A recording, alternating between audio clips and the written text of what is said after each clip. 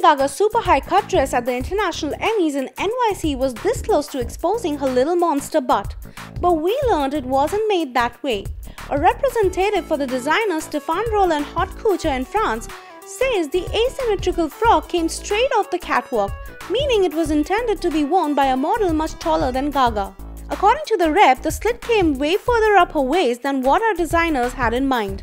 Despite the wardrobe malfunction, Stéphane Rolland insists, we're not mad that the dress ended up looking like that on Gaga. She does make it look a little naughtier.